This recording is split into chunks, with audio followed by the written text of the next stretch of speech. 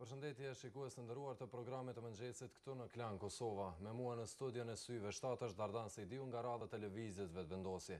Bashkë do të flasim me lidhje me protestën e sotshme të kësaj të këtij subjekti politik kundër ratifikimit të marrëveshjes së arritur në Bruksel midis kryeministrit Thaçi dhe atij serb Ivica Daçiç.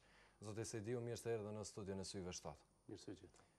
Për protestën që do të mbani sot prej orës nëntë, jeni mobilizuar kohë më parë, keni ftuar shumë njerëz dhe sa masive pritni që të jetë demonstrata e sotme? Po, demonstrata e sotme presim që të jetë një demonstratë të cilës i bashkangjiten gjithë qytetarët që janë brengosur për fatin e Republikës së Kosovës dhe defunksionalizimit apo bosnjizimit të Republikës së Kosovës. Marrëveshja e kryeministrit Thaçi dhe kryeministrit Daçiq nuk bën gjë tjetër përveç se e bosnjizon Kosovën, krijon një entitet të ri dhe mbivendos këtë subjekt autonom në veri, së bashku me komunat tjera që gjinden në jug të Kosovës, mbi Kushtetutën e Republikës së Kosovës dhe mbi sovranin e Republikës së Kosovës që është qytetari i këtij vendi.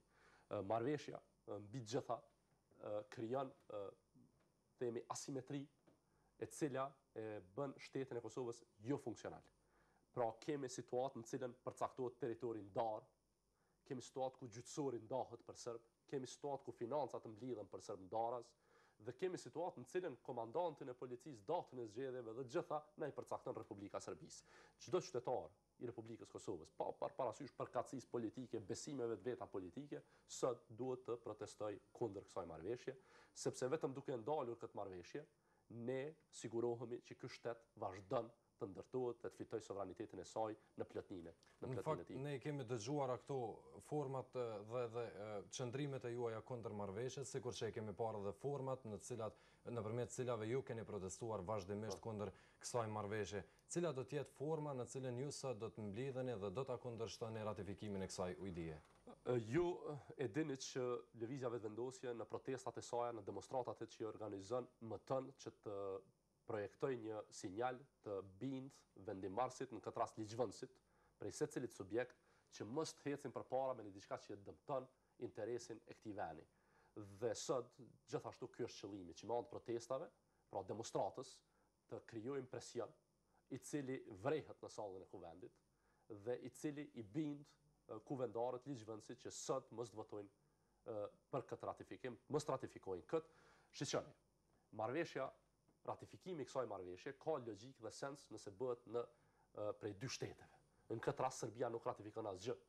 Serbia në Republikën e vet, bën një akt nënligjor qeveritar, pra nuk ratifikon marrëveshje ndërkombëtare, sepse Serbia neve na trajton si entitet veten në Kushtetutën e vet, derisa kryeministri jonë sot pretendon të ratifikojë marrëveshje ndërkombëtare ku nuk ekziston pala tjetër, por veçse të krijojë Imazh. Zoti Sejdiu, si do t'i pengoni deputetët që ta ratifikojnë këtë marrëveshje? A do t'i pengoni, a do të vendosni aktivistët e juaj dhe a do t'i organizoni qytetarët që të rrethojnë Kuvendin e Kosovës në mënyrë që të pengojnë hyrjen e tyre në Kuvend? Ne e kemi thënë shumë qartë që kjo është demonstratë për të kriju presionin e domosdoshëm për mos ratifiku këtë marrëveshje. Dhe sot kjo demonstratë ka këtë qëllim. Nuk ka qëllime tjera. Pra skenaret të cilat themi kështu mundohen të ndërtohen, nuk janë valide sepse ne nuk duam të bëjmë asgjë e që nuk është legjitime dhe e cila nuk përkon me dëshirën e sovranit. Dhe dëshira e sovranit e secilit qytetar nuk është të ketë një Kosovë të bosnjizuar, nuk është të ketë një Kosovë jofunksionale, nuk është të ketë një Kosovë ku të korruptuarit negociojnë për fatin e për fatin e vendit, shiqoni, në një proces, ku ata që i kanë manipulu tridhjetë e tetë për qind të votës, ku dita ditës na dalin procese të korruptuara në pah, nuk kanë legjitimitet të negociojnë për vendin tonë. Pra, në kësi rrethana, procesi përfundon i korruptum dhe marrëveshjet dalin të kriminalizuara. Po, po, po flisni, po flisni shumë me mllef. A do, a jo, ka rrezik, a ka rrezik që të shkojë në këtë formë edhe jo, protesta, që të ketë trazira? Jo, nuk ka mllef. Kjo është seriozitet. Kjo nuk është çashtje me të cilën mundemi me marrë me shaka dhe me lehtësi. Jemi tu folë për sovranitetin e Republikës së Kosovës. Jemi tu folë për defunksionalizimin e Republikës së Kosovës. Jemi tu folë për mbivendosje të një entiteti të krijuar nga Hashim Thaçi mbi shumicën. Lejomni ta spjegoj që qytetarët e kuptojnë se çfarë po ndodh. Nëse ju Sot keni një kontest gjyqësor me një sërb. Ju nuk mund të keni gjyqtar shqiptar. A e dini pse? Sepse pala ndërgjyqëse është sërbe. Edhe ai mund të gjykohet vetëm nga sërbi. Keni, keni parasysh çfarë po ndodh. Pra, një shqiptar dhe një sërb nuk mund të kenë gjyqtar të pavarur, po duhet të jetë sërb. Nuk mund të jetë as turk, nuk mund të jetë as goran, nuk mund të jetë as boshnjak, nuk mund të jetë as shqiptar. Duhet të jetë sërb. Dhe ky është shteti në cilin neve kryeministri na tregon që është shteti multietnik, jo, multietniciteti ka të bëjë me shqiptarët dhe të tjerët. Po megjithatë është një marrëveshje që është rekomanduar nga Bashkimi Evropian dhe kjo marrëveshje po e afron Kosovën drejt Bashkimit Evropian, pra familjes së madhe evropiane dhe po i sjell datën e nisjes negociatave për marrëveshjen e stabilizim asociimit në një farë forme. Po këtu janë dy pyetje. E para ka të bëjë me dëshirën e Bashkimit Evropian që të krijojë ose që të relaksojë dhe të afrojë Serbinë më shumë nga vetja e ta largojë nga Rusia. Pra kjo është qëllimi i BE-së, që të afrojë Serbinë më shumë nga BE-ja dhe ta largojë nga influenca ruse. Dhe këtë jemi në rregull që të bëjë Bashkimi Evropian, po jo në kurriz të kombit dhe vendit tonë. Pra, në këtë rast, arsyeja pse ne i bëjmë koncesionet e lëshimet, është kryekëput e lidhur me llojin e qeverisë që e kemi. Kemi qeveri që i ka manipulu tridhjetë e tetë për qind të votave për të ardhur në pushtet dhe kemi qeveri e cila është e korruptuar. Dhe këto na tregon secili proces që e kemi pa në vitin e fundit, prej targave të automjeteve, deri te pasaportat, deri te privatizimi i aksosit, i postës me aksos, e distribucionit për dy kilometra asfalt. Pra, ky proces, si negociatë, ndërmjetësusi e gjen pikën e dobtë dhe aty godet. Në këtë rast, kur është qeveria e korruptuar, ajo lëshon pe. Dhe e pyetja e dytë, që ka të bëjë me afrimin e Kosovës me me Bashkimin Evropian. Besoj që edhe ju, edhe unë, afrimin e Kosovës me Bashkimin Evropian nuk e shohim me 45% papunësi, qeveritarë të korruptuar, me pronto diskutime të kryeministrit me me të tjerët, me shefat e shefave dhe me korrupsion të skajshëm, me ekonomi totalisht të pazhvilluar, me drejtësi e cila nuk funksionon, me sistem gjyqësor i cili është çfarë është, por e shohim si një përparim kualitativ në jetën tonë. Dhe çka është marrëveshja për stabilizim asocim? Çka është në realitet? Po e cilësoni si të parëndësishme karshi krejt këtyre fakteve? Unë e cilësoj si të rëndësishme kur e shoh ndryshimin kualitativ në jetën e qytetarit të Republikës së Kosovës. Dhe cili është ndryshimi kualitativ? Nuk ka ndryshim në jetën e qytetarit të Republikës së Kosovës, për ma shumë, Kemi degradim total. Shoqëror, ekonomik, institucional, social, degradim total të këtij vendi. Dhe MSA-ja, MSA-ja nuk e ndryshon këtë gjendje. MSA-ja është karota e BE-së për koncesionet që i ka bërë Hashim Thaçi. Dhe nëse ideja është që të afrohemi në BE pa marrë parasysh çmimit, Pa marrë parasysh çmimit, se ky është qëllimi, të afrohemi në BE, jo pra shtetndërtimi, zhvillimi ekonomik, mirëqenia e përgjithshme, një shtet i së drejtës. E njëjta marrëveshje po i sjell edhe zgjedhjet në veri për herë të parë. Jo, po i sjell lëshimet që i bëri që i bëri Hashim Thaçi Daçiqit. Nuk po i sjell marrëveshja, MSA-ja. Koncesionet e Thaçit ndaj Daçiqit Jo, nuk e kam fjalën për MSA-në, këtu po flas për marrëveshjen që është nënshkruar në Bruksel midis Thaçit dhe Daçiqit. Ajo po i sjell zgjedhjet në veri. Po pse po i sjell zgjedhjet në veri? Për shkak se Serbia i ka fitu gjitha që i ka kërku. Dhe normalisht që tash... Jo, kërkesa e jona ka qenë që zgjedhjet të bëhen edhe në atë pjesë të Kosovës. Kërkesa e jona ka qenë integrimi i veriut në Kosovë. A nuk është integrim nëse atje organizohen zgjedhjet prej institucioneve të Kosovës? Sepse kemi komandant policie që zgjedhet prej prej kryeministrit edhe zëvendëskryeministrit serb, e i cili vjen këtu për ratifikim. Kemi fonde të ndara prej buxhetit të Republikës së Kosovës për veri, prej parave që mblidhen në në pikat doganore në veri të vendit.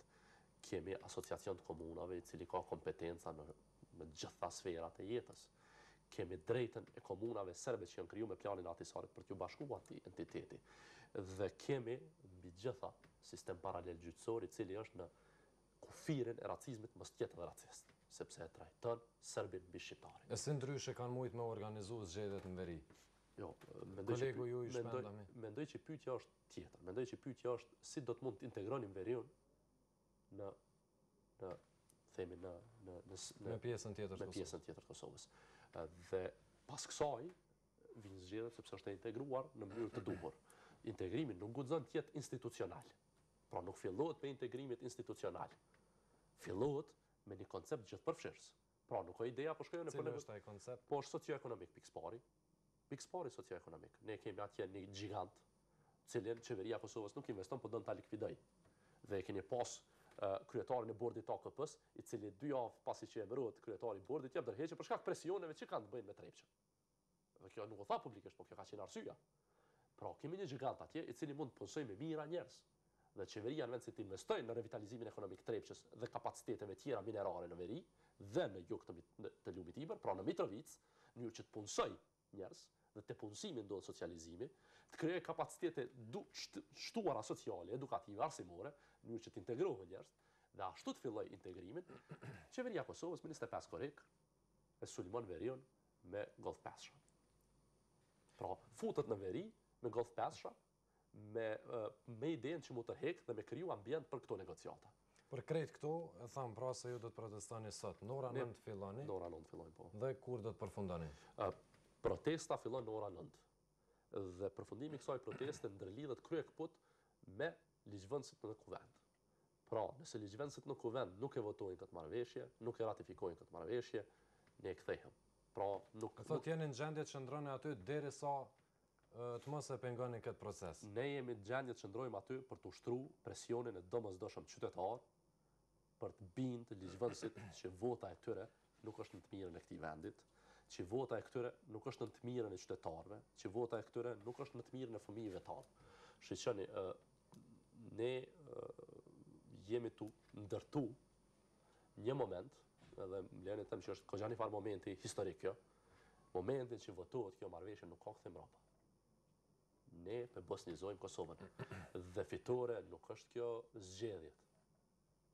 Nuk janë zgjedhjet fitore. Pse po organizojmë zgjedhje në veri, nuk është kjo fitore.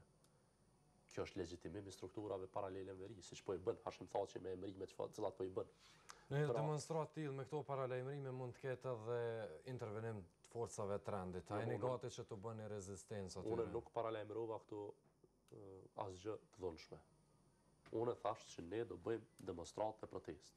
E drejta për protestu dhe demonstru është e drejtë e garantume me Kushtetutën e Republikës së Kosovës. A do të bllokohet hyrja e Kuvendit? E drejta për me demonstru në vend publik është e garantuar me Kushtetutë. Po hyrja a do të bllokohet apo jo? Ne do demonstrojmë kundër marrëveshjes dhe kundër ratifikimit të kësaj marrëveshje. Dhe këtë s'po na e tregoni, nëse. Jo, sepse demonstrata para Kuvendit, protesta para Kuvendit, nuk është një diçka e cila organizohet, tu thënë, këtë vijë e lëjmë hapur, këtë vijë e lëjmë hapur dhe kuvendarët le të sillen thu se është situata normale. Ne jemi para Kuvendit dhe protestojmë para Kuvendit. Ma tregoni një vend ku protestohet e ku krijohen korridore për ata që të hyjnë aty brenda dhe të votojnë. Pra ne jemi aty për me demonstru... E çka nëse ratifikohet marrëveshja? Ne vazhdojmë aksionet tona protestuese me kundërshtimin tonë institucional, jashtinstitucional, demonstratat. Po thatë se nëse ratifikohet s'ka kthim prapa?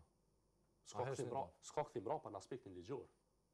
S'ka kthim prapa në aspektin ligjor për këta qeveritarë. Pra, këta qeveritarë nuk janë të interesu të bëjnë kthim prapa. Këta po shkojnë tutje, shihni sot është takimi 5, shikoni paradoksin e këtij kryeministri dhe të kësaj qeverie. Kur arritën marrëveshjen, na thanë u arrit marrëveshja. Kjo është ditë historike për Kosovën. Po pas asaj marrëveshje i kemi edhe pesë takime tjera për planin e zbatimit të marrëveshjes. Po mbi të gjitha, aty po diskutohet tash jo për vetëm për pikat e marrëveshjes, po po diskutohet për Ujmanin, apo Gazivodën, po diskutohet për resurset e Trepçës, po diskutohet për energji, po diskutohet për Telekom. Pra, kjo është marrëveshja e parë. Paramendoni si ka mu duk marrëveshja e tretë, nëse e para krijon entitet të veçantë, po qysh paska mu duk e treta? Nëse interesi i kryeministrit i Kosovës është mbetja në pushtet dhe ikja nga ikja nga përgjegjësitë që i ka ndaj qytetarëve, domosdoshmërisht rruga që do ecë ky kryeministër dhe kjo qeveri është kjo. Atëherë zoti Sejdiu ka mbetur edhe pak kohë deri në fillimin e protestës, po ju falënderoj që ishit në Syri shtatë. Faleminderit shumë.